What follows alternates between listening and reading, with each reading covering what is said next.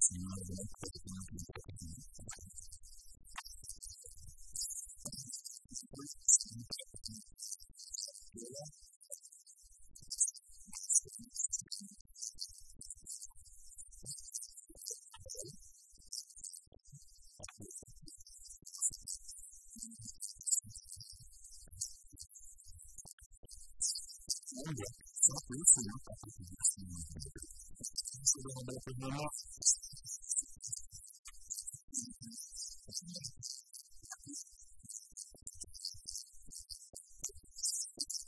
それ、えー、やることになりますね。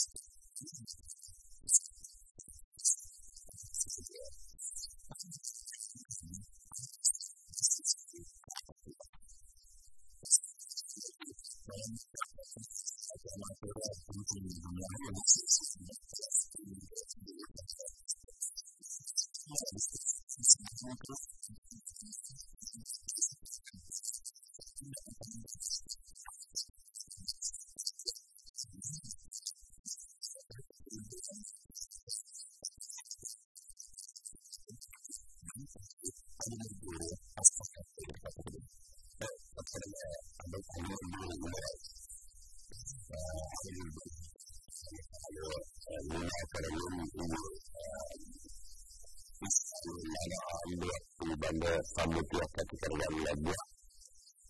ඒ Benjamin Netanyahu අවුරුදු 12ක් තිස්සේ ඉස්රායලයේ ඉගෙන ගිය පාලනය අවසන් වෙනවා.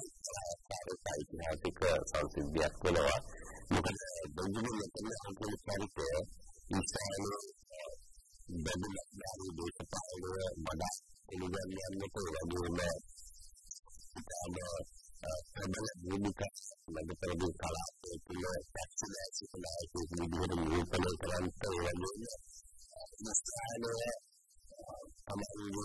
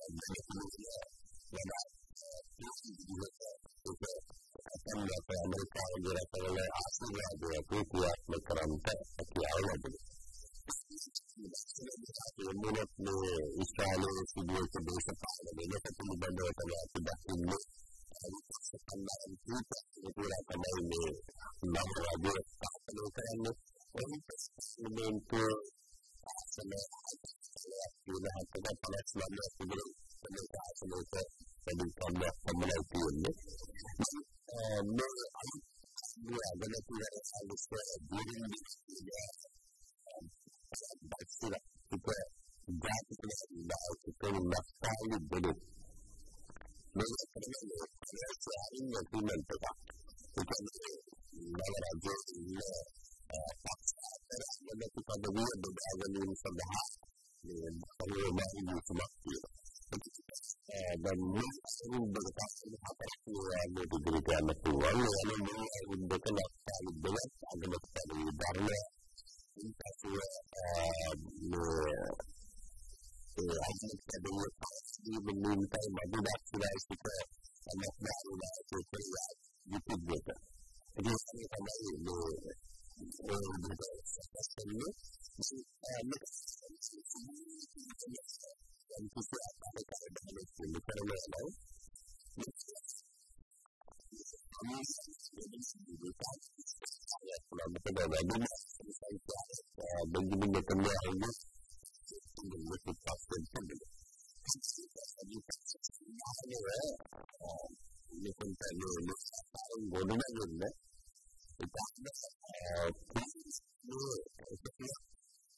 مطلب فن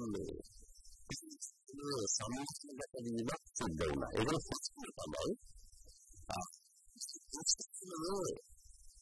والفن التي نجدتها بدأت بعالمية قسم مسؤولية المدينة فنحن مع الاعتبارات نحن بدأت بعالمية مجالات مسؤولية المدينة يوجد ما يعني منه اثنين صعب لهنا كان حاجة تغير يعني بل من أكل على من الملاح ولا كل الجنة كان الجنة يوسف يترك على كل يوم سمعت لها وستقول الجنة على الجنة واستقال الجنة ගැනීම නොහැකි නිසා. මොහොන සංස්කෘතිය වැරදි. දැන් ගොඩක් දහනම වල අගමැති බෙන්දිමින් නොකන්නේ ගොඩක් සූතර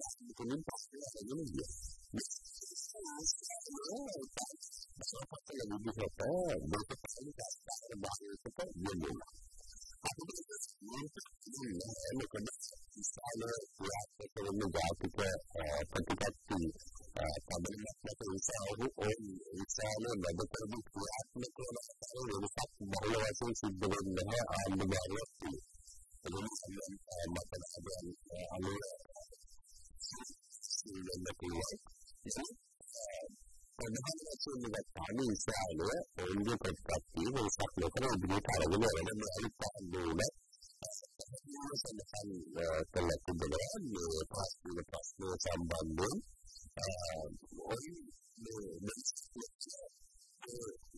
ඔවුන්ගේ ඉස්රායලේ දැනට පුළුවන් මතලාද ඒ සම්බන්ධයෙන් තිබෙන ස්ථාවරය වෙනසක් නැති බව.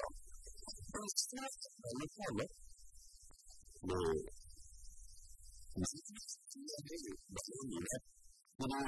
කාරණය වැඩිස්නේ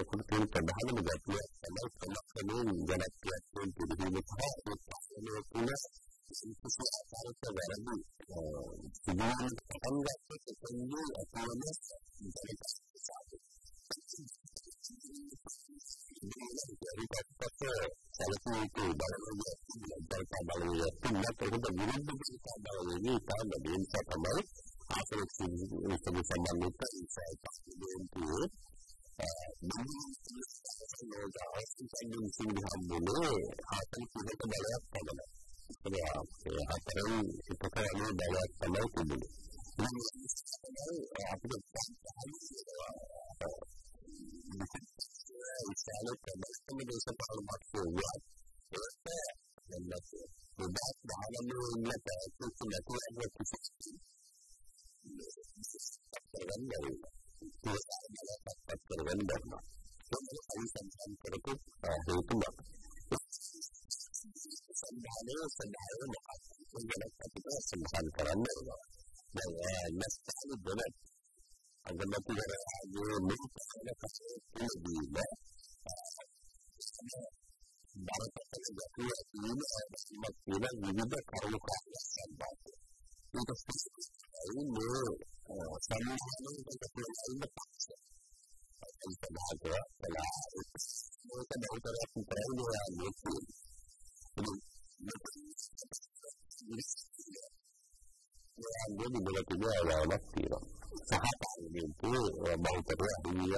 තියෙනවා. බලන්නේ මේ සම්මානයේ දිහි කරලා බෙන්ජමින් නෙතන්යාහු ඒ සම්බන්ධයෙන් පාර්ලිමේන්තුව අදහස් කරනකොට ඒ දෙවියන් සඳහන් කළ අපේ විවිධ කියලා සම්පූර්ණ පිළිවෙල පතාවේ පතාවේ ඒක පරිවර්තන කරගෙන තිබෙනවා සම්මාන කියන මේ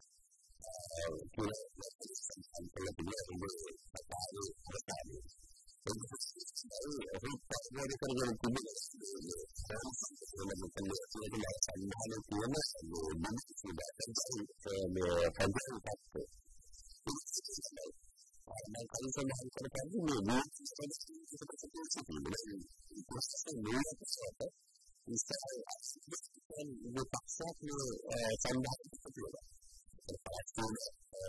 උන්ගේ ඊශ්‍රායලය තුළ ජීවත් වෙන පලස්තීන සම්භාවයක් තියෙන අරාබි ජාතිකයන්ගේ ඊශ්‍රායල් අරාබිවරුන් ඔවුන් ඊශ්‍රායල් පුරවැසියන් ඔවුන් මේගේ කණ්ඩායමක් මේ සන්ධානය තුළ ඉන්න.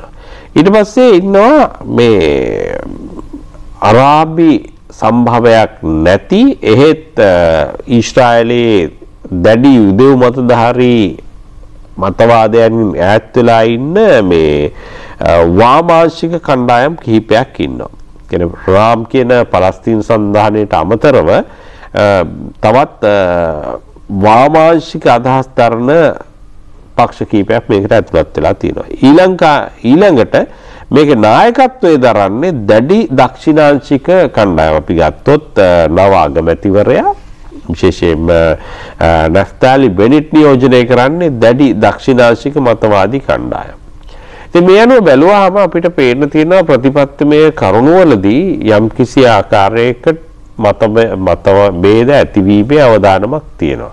නමුත් යම්කිසි කාල සීමාවක් මොවුන්ට හැකියාව ලැබේවීම පාලනය අරගෙන යන්න මොකද දැන් එකක් මේ ගිවිසුම මේ පාලන ගිවිසුමක් ඇති කරගෙන තියෙන්නේ. ඒ අනුව කටයුතු කරන්න මේ සියලුම පක්ෂ එකඟ වෙලා තියෙනවා. ඒ නිසා මේ එකඟතාව ඒ කියන්නේ බලය ලබාගත් ගමම්ම කිසිම කෙනෙක් කැමති වෙන්නේ නැහැ බලය නැති වෙනවට. ඒ නිසා වුන් කෙසේ හෝ උන්ගේ අභ්‍යන්තර මතභේද යම් ආකාරයක සමනය කර ගනිමින් බලේ රැඳී සිටීමට උත්සාහ දරાવી නමුත් ඊටම අමාරු කාර්යයක් මොකද මේ විවිධ අදහස් දරන විවිධ දේශපාලනික මතවාද තියෙන ඉතා පුළුල් සන්ධානයක් ගොඩනගා තිබීම නිසා. ඉතින් කොහොමවත් මේ කරුණු තුල අපි දකිනවා ඊශ්‍රායලය යම් කිසි වෙනසකට මුහුණ පාලා තියෙනවා. අභ්‍යන්තරික වශයෙන් ඔවුන්ට එකක් තමයි ජනතාවට අවශ්‍ය වුණේ අර නෙතන්යාහුගේ දීර්ඝකාලීන පාලනයේ වෙනසක් දකින්න මොකද ඔහු සම්බන්ධයෙන් ඇතිලා තිබිච්ච ඔහුගේ ජනප්‍රියත්වය සෑහෙන පරිදි අඩු වෙලා තිබිච්ච නිසා. ඒ වගේම මේ පාලනයට සම්බන්ධ විවිධ ඊශ්‍රායල අපි දැක්කා වැසියන් මේක සමරන ආකාරය. මොකද මේ නව ආණ්ඩුව තුළින් ඔවුන් දකිනවා නව දැක්මක්. ඒ කියන්නේ අභ්‍යන්තර දේශපාලනික කටයුතු වලදී අභ්‍යන්තර ඊශ්‍රායලයේ රාජ්‍ය මේ පාලන කටයුතු වලදී වෙනස් තත්වයක් සහ වඩාත් හොඳ තත්වයක් ජනතාවට අත්වෙයි කියලා විශ්වාස කරනවා නෙතන්යාහුගේ පාලනය ඉවර වුණාට පස්සේ. ඒ කාරණා දෙක තමයි ඊශ්‍රායල් වැසියන්ගේ අපි දකින්න දකින්නේ මේ අවස්ථාවේදී. එතකොට මෙතෙන්දී කිසිම වෙනසක් සිදුවේ කියලා අපි හිතන්නේ පලස්තීන ප්‍රශ්නය සම්බන්ධයෙන් පලස්තීනුවන්ට සාධාරණ වීම හෝ මැද පෙරදිග සාමය වගේ කාරණා වෙත යොමු වීමක් ගැන අපිට හිතන්න අමාරුයි. සමහරට උන්ට බලාපොරොත්තුවක් ඇති යොමු නියෝජනය කරන කණ්ඩායමකුත් දැන් මේ පාලනය තුල ඉන්නේ නිසා. අන්න දැන් මේක පලස්තීනුවන් මේ වෙනකොට දර්ශන මේ නිවේදනය නිකුත් කළ තියෙන පලස්තීන අධිකාරිය මේ එහිදී පැහැදිලිවම සඳහන් කරනවා this is an internal affair Israeli affair. මේක ඊශ්‍රායලයේ අභ්‍යන්තර ප්‍රශ්නයක්. Our position has always been clear uh, that what we want is a Palestine state. ඒ කියන්නේ පලස්තීන රාජ්‍යයක් බිහි කිරීම තමයි පලස්තීනුවන්ගේ අවසන් අරමුණ වෙන්නේ. 1967 යුද්ධය අපි කතා කරලා තියෙනවා. ඒ ගැන ඒ 67 ට පෙර ආතුව තිබිච්ච දේශ සීමා අනුව ස්ථාපනය කරලාද පලස්තීන රාජ්‍යයක් අවශ්‍යයි කියන එක තමයි පලස්තීනුවන්ගේ ඒ කායන අරමුණලා තියෙන. ඕන් සඳහන් කරන මේ තෙන්දි කිසිම වෙනසක් දකින්න නැහැ කියලා. ඒ වගේම ප්‍රධාන පලස්තීන පාර්ශවයන්හි දැඩි විරෝධය එල්ල වෙලා තියෙනවා. රාම් කියන පලස්තීන සන්ධානයට මේ නෙතන්යාහුගේ පාලන මේ නෙතන්යාහුගේ පාලනය අවසන් කරන ඔය නව ආණ්ඩුවට නැෆ්තාලි බෙනිට්ගේ ආණ්ඩුවට එකතු වීම සම්බන්ධයෙන් ඒ පලස්තීනුවන්ට දැඩි විරෝධයක් එල්ල කළත් තියෙනවා. ඒ ඒ බවත් අපි සඳහන් කරනවා. ඒ අනුව මම කිව්වේ ලොකු වෙනසක් සිදුවීමේ ප්‍රවණතාවයක් නැහැ ඊශ්‍රායලයේ අභ්‍යන්තරික දේශපාලන රටාවේ වෙනසක් සිදුවීම අරඩු කොට. ලෝක නායකින්ගේ G7 සමුළුව ඊයේ නිමාවට පත් වුණා එංගලන්තයේදී මෙහිදී විශේෂ අවධානය යොමු කරපු කාරණයක් බවට පත් වුණා ගෝලීය දේශකුණික විපර්යාසයන්. ඔව් දැන් මේක එජෙන්ඩා එකේ ප්‍රධාන කරුණු තුනක් ගැන සඳහන් වුණා දර්ශන. ඒ අතරින් මූලිකම තැනක් ගන්නවා මේ climate action කියන එක. ගෝලීය දේශගුණික වෙනස් වීම සම්බන්ධයෙන් පවතින තත්ත්වය පිළිබඳව තමයි මූලික අවධානයක් යොමුනේ ඊළඟට කොරෝනා වසංගතය සම්බන්ධයෙන්. එතකොට මේ සමුළුවේ අවසන් ප්‍රකාශනය තුළ අවධානය යොමු කළ තියෙන කාරණා බැලුවහම මේ අපි දකින්නේ බ්‍රිතාන්‍යයේ මේ සමුළුව පැවැත්වෙච්ච අවස්ථාවේ දර්ශන ඒ රාජ්‍ය නායකයන් පැමිණීම ආදී දර්ශන එතකොට ප්‍රධානම එකේ කාරණා අපි ප්‍රධාන කාරණේ ගැන කතා කරන්න ඊළඟට තියාගන්නවා. මොකද ප්‍රධානම පොරොන්දු උනේ මේ එන්නත්කරණය කොරෝනා වෛරසයට එරෙහි එන්නත්කරණය පුළුල් කිරීම සඳහා වන වැඩපිළිවෙල කියන්නේ G7 එහෙම G7 කණ්ඩායම එකතු වෙලා එන්නත් බිලියනයක් කෝටි 100ක් ලෝකයේ දිනු ජනතාවට ලබා දීමට ප්‍රතිඥා දීලා තියෙනවා. ඉතින් ඒ වැඩ පිළිවෙල තමයි මූලික දෙන්න අපි ගැන කතා කරනවා ඊළඟට. ඊළඟට මේ ඉකොනොමික් රිකවර් ඒ කියන්නේ කොරෝනා වෛරස් ව්‍යාප්තියෙන් පස්සේ වසංගතයෙන් පස්සේ ඇති වෙලා තිබෙන ආර්ථික පරිහානිය ගැන අවධානය යොමු කරමින් විශේෂයෙන්ම G7 කණ්ඩායම ගැන එම ආර්ථික පරිහානිය පිටු දැකීම සඳහා අවශ්‍ය කරුණු කාරණා අනුගමනය කිරීම ඊළඟට ක්ලයිමට් චේන්ජ් නායකයන් එකඟ වෙලා තියෙනවා ග්‍රීන් රෙවලියුෂන් එක හරිත විප්ලවයක් සඳහා අවශ්‍ය කටයුතු සම්පාදනය කරන්න. ඒ අනුව වසර දෙදස් පණහ වෙන විට ගෝලීය දේශකුණික ඉලක්ක සපුරා ගැනීම කියන්නේ ගෝලීය උණුසුම තවත් සෙල්සිය සංසක එකයි දශම් පහකින් ඉහළයාම වලක්වා ගැනීම මේ රටවලට තමයි ප්‍රධාන වක්කීම තින් ලෝකෙ ප්‍රධාන කාර්මික කරනට ලක්විච්ච රටවල්. මේ අය තමයි ගෝලීය කාබන් ඩයොක්සයිඩ් නිකුතුව සම්බන්ධයෙන් ලොකු වගකීමක් දරන්නේ. ඒ නිසා මේ අපේ වගේ රටවල් විපතටපත් වෙන මේ අය ක්‍රියාකාරකම් නිසා ඉතින් ඒ අනුව අපිට පැහැදිලිව පේන්න තියෙනවා මේ මේ G7 කණ්ඩායමේ ලොකු අවධානයක් යොමු වෙලා තිබෙනවා පාරිසරික ගෝලි දේශගුණ වෙනස් වීම සම්බන්ධයෙන්. නමුත් මේ අපි දකින විරෝධතාව මේ ජනතාවගෙන් එල්ලවන විරෝධතාව ඒවත් ක්‍රියාකාරීන් එල්ලවන විරෝධතාව මොකද්ද? ඔවුන් සඳහන් කරන දේ තමයි මේක ඇත්තටම මේ ප්‍රධාන වශයෙන්ම පොරොන්දුවක් කියන්නේ මූල්‍ය පොරොන්දුවක් තමයි මේගොල්ලෝ ලබා දීලා තියෙන්නේ. කියන්නේ ඩොලර් බිලියන 100ක් මේ ලබා දෙන්න 2009 ඉඳලා මේ එකඟතාව පළ කරලා තිබෙනවා. නමුත් මෙය නිසි පරිදි ක්‍රියාත්මක නොවන බව තමයි මේ ක්‍රියාකාරීන් සඳහන් කරන්නේ කියන්නේ මූල්‍ය වැඩපිළිවෙලක් ගැන කතා කරත් ඒක නිසි පරිදි ක්‍රියාත්මක වෙන්නේ නැහැ ඊළඟට සැබවින්ම මේ දේශගුණික වෙනස් වීම පිටුදැකීම් සඳහා අවශ්‍ය මූලික කාරණා වෙනස් කරන්නට මේ රටවල් එකඟ වෙන්නේ නැහැ කියලා සඳහන් කරනවා. ඒ නිසා තමයි අපි මේ දකින විරෝධතා රැල්ල ආරම්භ වුණේ G7 සමුළුව හා සමගාමීව. කොරෝනා වසංගතයට සාර්ථකව මුහුණ දීම සඳහා ලෝකයේ දිලිඳු රටවල් වලට කොහොමද G7 නායකයින් සහාය ලබා දෙන්නේ? ඔව් දැන් ඒකත් අපි අර කතා කරපු එජෙන්ඩා එකේ මූලික කාරණයක් මේ එජෙන්ඩා එක අනුව එහෙම නැත්නම් සම්මුවේ අවසන් ප්‍රකාශය අනුව G7 කණ්ඩායමේ රටවල් එකතු වෙලා එන්නත් මාත්‍රා කෝටි 100ක් බිලියනයක් ලබා දීමට එකඟ වෙලා තිබෙනවා. මේක අපි සෙනසුරාදාත් මේ ගැන කතා කරා. දැන් මේ අනුව කොහොමද මේ වැඩපිළිවෙල ක්‍රියාත්මක වෙන්නේ? දැනටම බ්‍රිතාන්‍ය සහ ඇමරිකාව Taman විසින් ලබා දෙන එන්නත් ප්‍රමාණය පිළිබඳව කරුණු පැහැදිලි කළා අවසන්. ඒ අනුව බ්‍රිතාන්‍යත් ඇමරිකා එක්සත් ජනපදයත් මේ වැඩපිළිවෙලේ මුල් තැනක් ගන්නවා.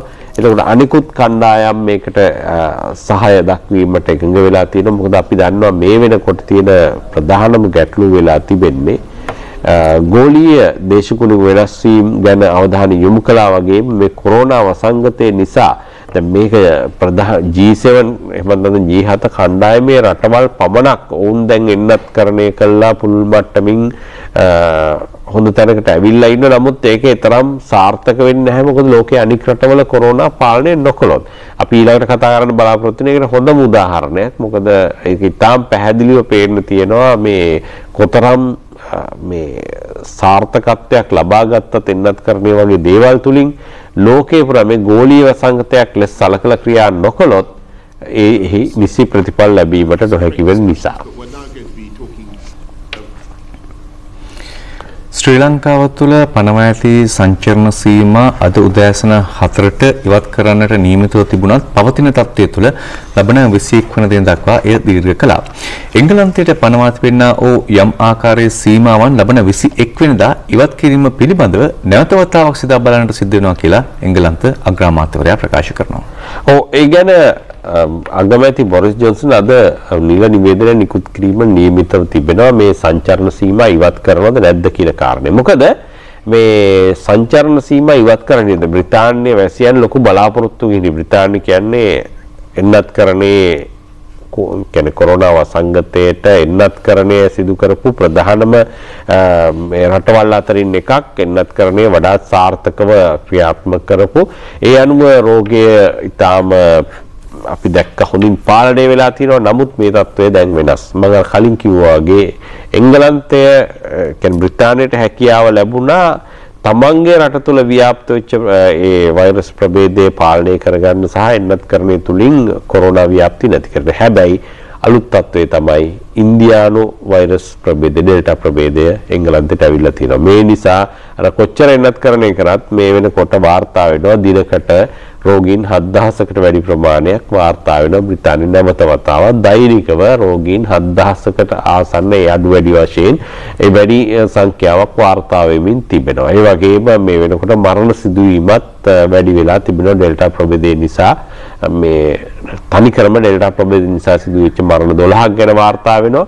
ඉතින් ඒ වගේම තවත් අවධානය යොමු වෙලා තියෙන මේ හානි පිළිබඳව ඒ නිසා තමයි මේ ලොක්ඩවුන් තත්ත්වය සම්පූර්ණයෙන්ම අවසන් කිරීමට නොහැකි බව නොහැකි තත්වයකට ඒ වෛද්‍ය විද්‍යාඥයන් සඳහන් කරන්නේ මේක කර නොහැකි කියලා.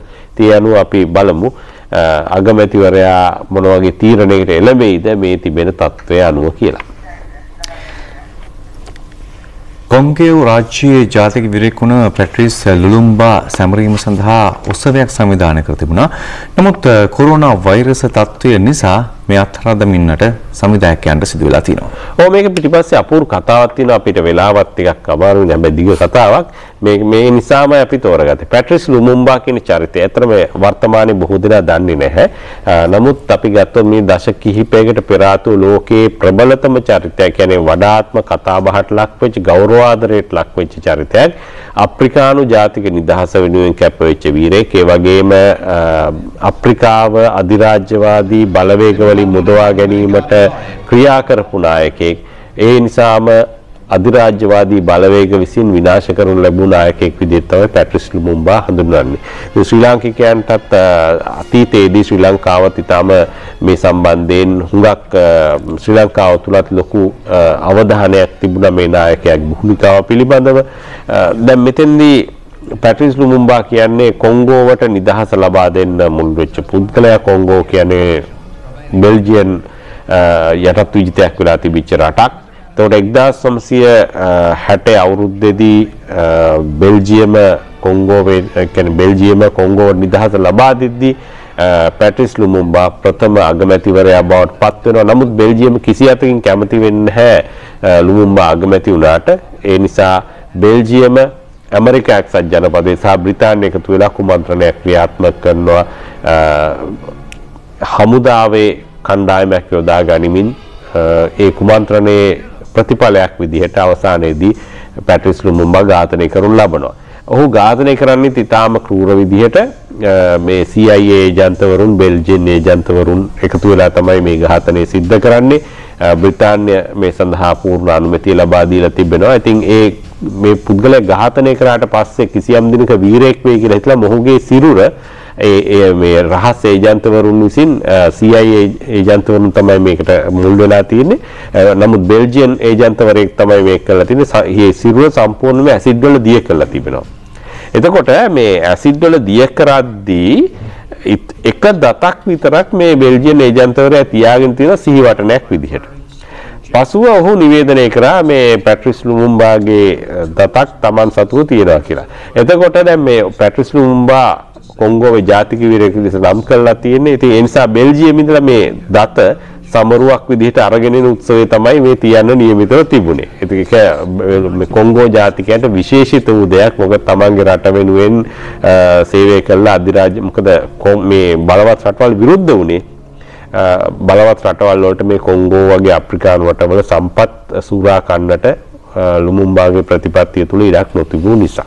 ඉතින් ඒ ඒ කාරණය තමයි මේ කොරෝනාවත් සමග කල් දාන්න සිද්ධ වෙලා තියෙන්නේ.